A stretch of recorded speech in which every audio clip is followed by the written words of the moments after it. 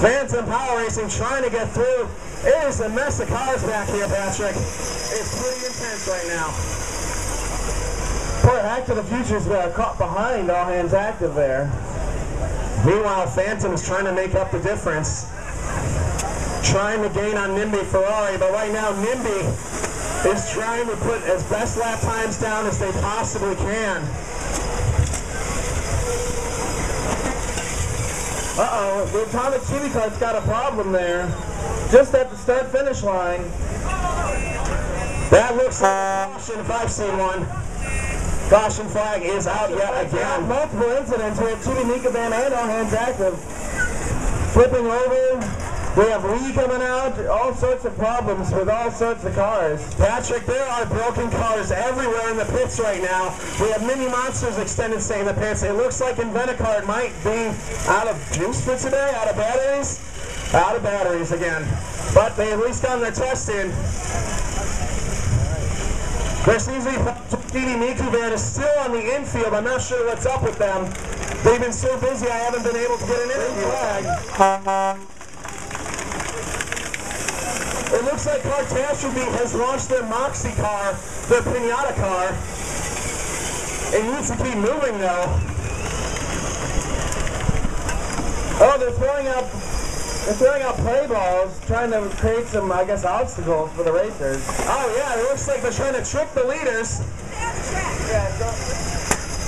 Oh, oh! That is a flat oh, tire. Atomic Chibi. Atomic Chibi's got a flat tire. All the way at the wrong part of the track. He's got to make it all the way around.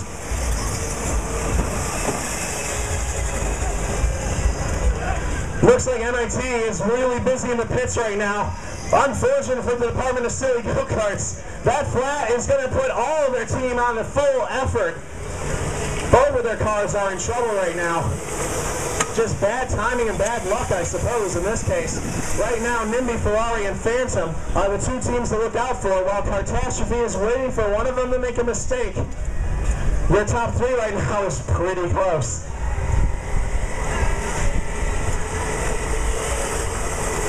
But right now, interesting mess in the pits right now.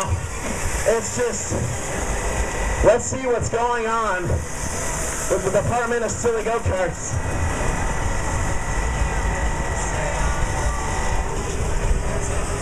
MIT having problems, is all hands active. But NIMBY Ferrari, Phantom, Cartastrophe, Hack to the Future, and I say 1, 2, 3, 4, 5. Those cars have been doing great all day. Right now they're, they're trying to figure out how to get Chibi Van back into the pit so they can work on it.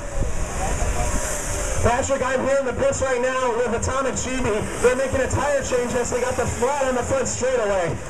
It is panic right now in the Chibi pits. Motosaurus Rex needs a win here, but she's stuck down in sixth place. And Chibi Mikuvan is entering the pits right now, ladies and gentlemen. Another problem for MIT. MIT just cannot build a reliable car. Patrick, it's absolutely madness right now checking tires everywhere, trying to switch multiple tires at the same time from both cars. It's incredible that they're able to keep going under this pressure. But right now they're doing a fantastic job of getting what they can yeah, was a cannon over here on the backstretch. It looked like there were projectiles for stuffed animals, teddy bears, out on the track.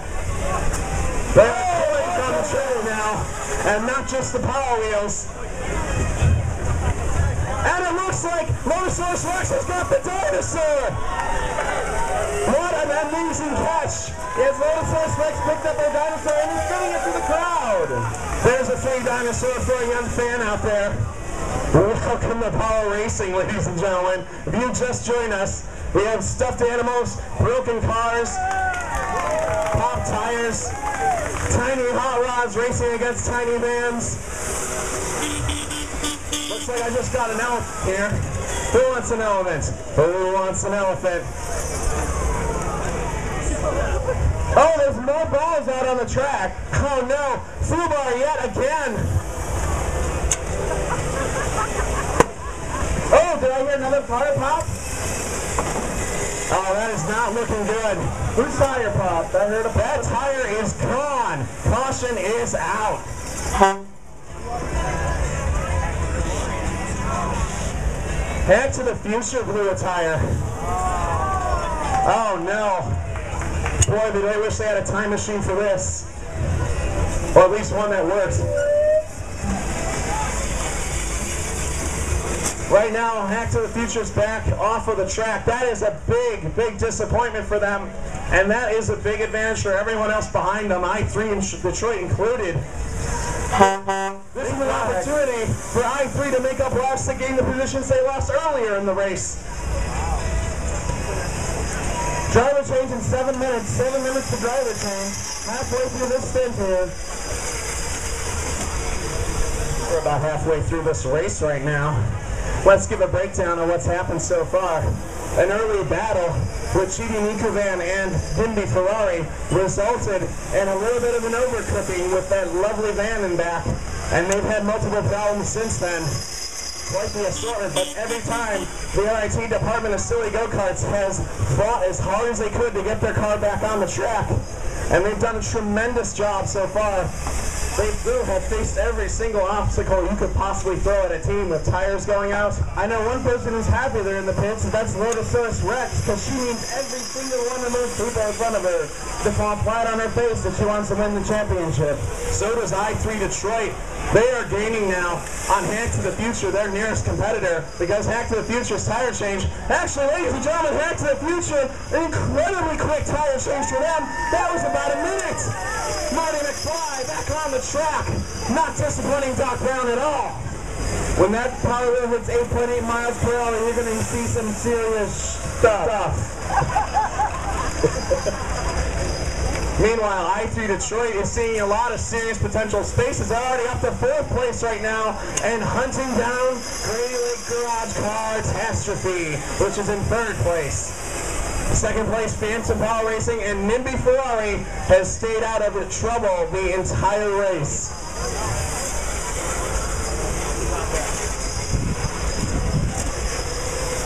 I-3 trying as they might, they really want a medal for today. They are in fourth place, but they got to make up a lot of time on Cartastrophe. What's really impressive, Patrick, if Ferrari, Nimby Ferrari can hold them off, it will be the fifth different winner we've had this weekend. Nobody is exactly on top. The pendulum has swayed back and forth constantly, and I-3 Detroit is trying to make it sway even further into their advantage as I-3 Detroit has climbed themselves back. They are trying to get back up. They're now in fourth place and fighting for a podium finish.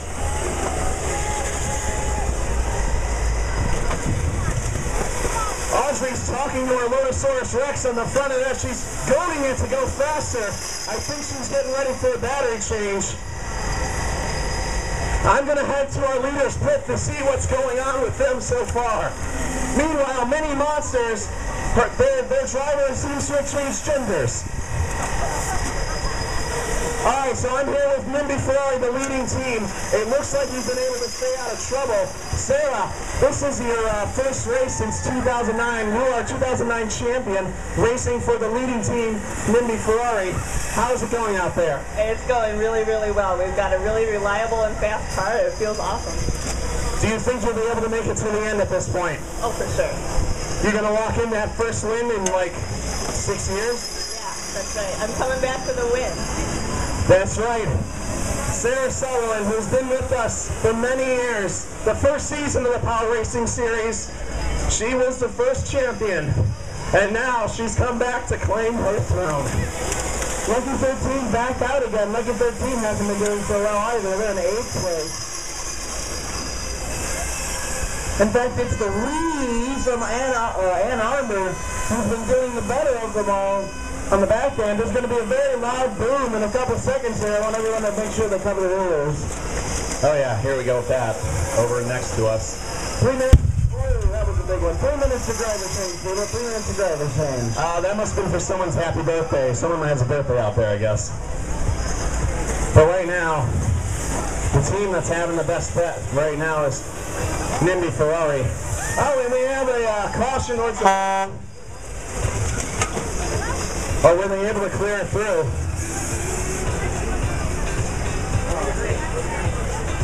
And we're back underway. We flagged. They managed to clean it up faster than we could react.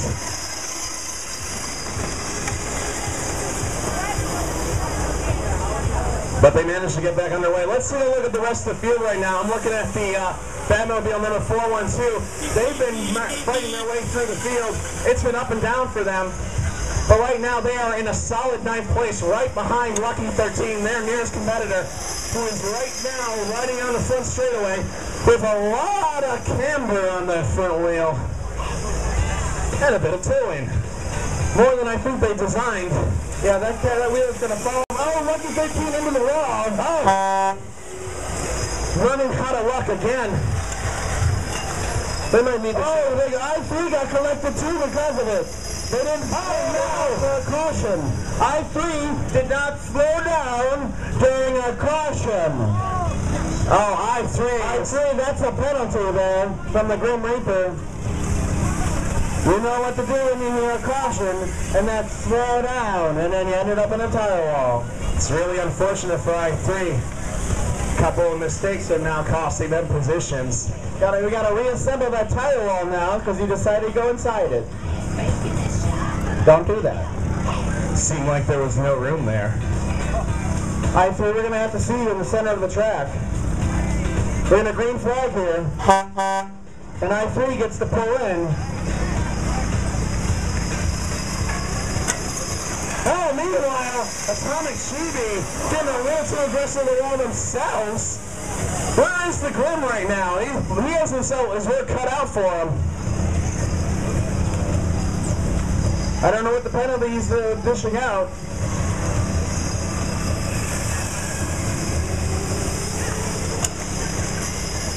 But we got one minute to driver change, one minute to driver change.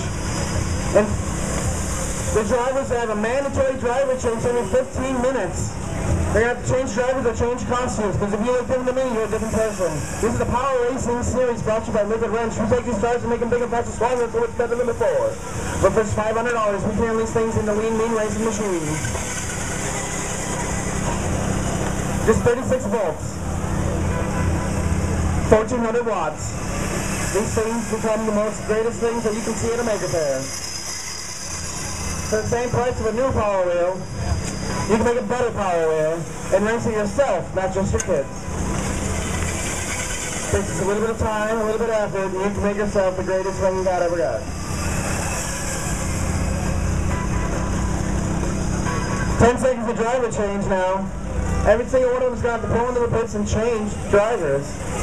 I notice that when I stand near the track, I just get high five. That's mandatory driver change. Mandatory driver change.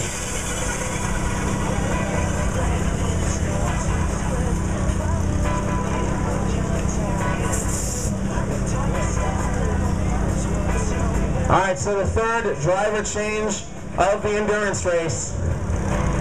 Right now, Nimby Ferrari, your leaders. Hack PGH making a battery change right now. Hack PGH. Battery change. Nimby Ferrari just making a driver change. They're going to go and Phantom Power Racing.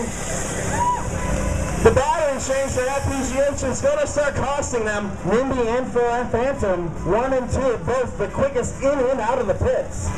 If you could direct your attention over here, fans, it is quite busy right now.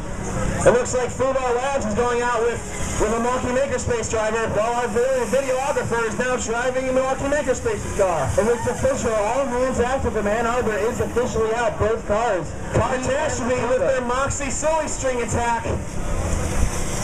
Looking for Moxie boats out there. Lee and Matilda, both out from all hands active from Ann Arbor. They're going to have to go with Moxie in order to get some points now. While everything's going around. And there's a couple cars now just slowly leaking out of the pit lane after that driver change. Looks like somebody wearing a mustache and a beard. I don't know who that is. But that's obviously a different driver. That's for sure. For the mini monsters. Chibi Mikuvan, looks like they tried to exit the pit lane, but then stalled about five feet from it. Iron Rails now starting to come back out. That looks like about a three-minute uh, pit stop for them. That's not very good. We got 27, 28 minutes left in the racing here. Patrick, I'm here in the Chibi Miku van pits. It is completely hectic. I'm trying to figure out what happened so far in the last 25 minutes. I don't know. He can go about 20 feet at a stint test to jiggle wires, and then is going again for another 20 feet. Patrick, I'm here in the pits right now. Tell me what is happening. So Chibi Miku van lost a super cheap like $5 plastic hand throttle and of course without that you can't tell the car to go. So we conveniently uh, sawed an identical one off of another silly vehicle in our pit and speed soldered it on and it's hot glued poorly and sort of working, maybe not really. No? I'm going to with roughness of the track it's affected your car's performance. Again, uh, not on the parking lot surface, but they're a little smoother back home, so Yeah, one of the tough things about this parking lot is it's quite intense. Meanwhile, we have yet again another caution for Chibi Miku van. It is just not going together, but it, it is by no means the fault of their crew, which is working tirelessly to try to get their car going. One of the hallmarks of the Power Racing Series, ladies and gentlemen, is to fix as many times as you need to to complete the race, no matter what.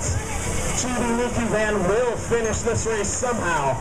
Whether or not it's under its own power is up to the fortunes that the team has. But right now, as luck sways away from them, their efforts have not given up. Their iron will continues on, even though they've fallen down towards the standings, even after having a tremendous start in the race. But they can still get your Moxie points, ladies and gentlemen.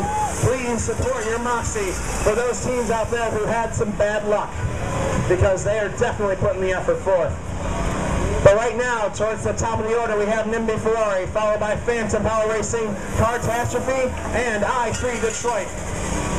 I want to remind everyone that we have some fantastic merchandise available for sale at the merchandise stands. T-shirts, stickers, posters, and more available at low prices. All of this brought to you by Ring. Make it move. As I'm dousing myself with water from all the heat on the track, I have to admit, oh, oh that is a Who did that one? Looks like it was, was it Fubar? It looks like Fubar living up to its name is going into the pits now. Unfortunate tire pop. That was a loud one. A lot of these tires are cheap lawnmower tires or radios off the wheelbarrow. They're not meant for racing and they blow. That's right. It would be too easy to have them use regular go-kart racing slicks. No, these engineers have to build a car around parts that weren't designed to handle it, and that's why you see the challenge forth. It is not easy to build a power racer to spec. You have to fight off quite a few engineering challenges, let alone a few racetrack challenges themselves. And, try, and remember to vote for Moxie because these teams are race all racing for your heart.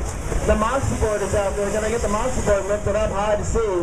Reese in the top hat, he's got the Moxie board somewhere. Where is that Moxie board? Reese? Where are you, Reese? We know it's out there. It's always out there. I don't know where Reese is. Oh, he's over there. There he is. Reese. We're at the Moxie board. Where is he? I didn't see him. He's out over there by Nimby's pit lane. Nimby, Reese has to go out there and get some Moxie votes from the crowd. He's letting someone in the pit lane vote. He's making sure you can get everyone to vote. And meanwhile, it is pretty maddening in the pit. But I have to admit, there's quite a few cars still out there putting down laps. Ladies and gentlemen, out of our field of 17 cars, eight cars have completed over 100 laps right now. Eight cars, 100 laps completed. That is quite the achievement for tiny electric go-karts made under $500. These cars are going for 75 minutes of endurance. I-3 now in the pit lane, it looks like some sort of battery issue. Oh man, fourth place I3. I don't know if that's a mandatory pit stop for them or a scheduled one. At that, they look a little too confused for it to be a scheduled pit stop. There might be something wrong with your fourth place team. Meanwhile, Hack to the Future has managed to claw their way back to fifth place, while Atomic Chibi is also back to completing some more laps. As we're winding down here, we're about two-thirds of the way of this endurance race, ladies and gentlemen. and the field has finally thinned out. The attrition is set in. Fubar Labs from New Jersey is back out on the track. Fubar in 11th place right now. Yeah, driven by Milwaukee Makerspace's Audrey. Fubar Labs is really a one-person team, and everyone in the in the pit